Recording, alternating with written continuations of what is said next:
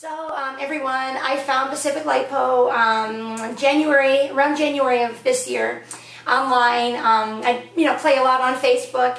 And the reason why I was looking for a liposuction place that was affordable, um, as well as safe, of course, is because I'm the mother of three beautiful children. I'm a nurse and I'm a Zumba instructor. I exercise and you know regularly, and I try to eat as healthy as possible. But of course, that's not always easy from you know where I work in a prison. Um, got three children. They love them very much, but they kind of ruined my tummy.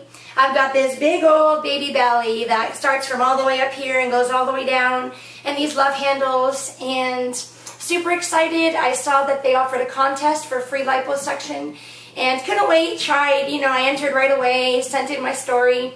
And honestly, I didn't think that I had a chance of winning because there were so many deserving contestants. So Becky tricked me. I thought for sure I wasn't going to win. Um, you know, I called and, you know, I found out that I won and I'm just super, super excited. My family and friends are excited for me and honestly, I just cannot wait to be rid of this baby belly. Hey guys, I'm about halfway done my procedure. Um, Rod is doing an amazing job. I'm in no pain, obviously. I'm happy um, it tickles more than anything. Um, feels like a day at the spa. I'm getting a massage right now. So um, if you guys are worried about, you know, getting lipo done because of pain, no worries. Definitely recommend Pacific Lipo. Give them a call. hey guys, I just finished my procedure. Um, had my abdomen and my love handles done. Um, thank you so much, Pacific Lipo. Um, Rod was just amazing.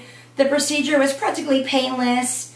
If there was a point where I was having any kind of discomfort, Rod stopped immediately and gave me some extra yummy lidocaine.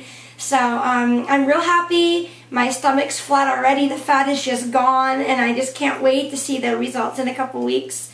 So once again, thank you so much for everybody that voted for me for this contest, and thank you Pacific Lipo.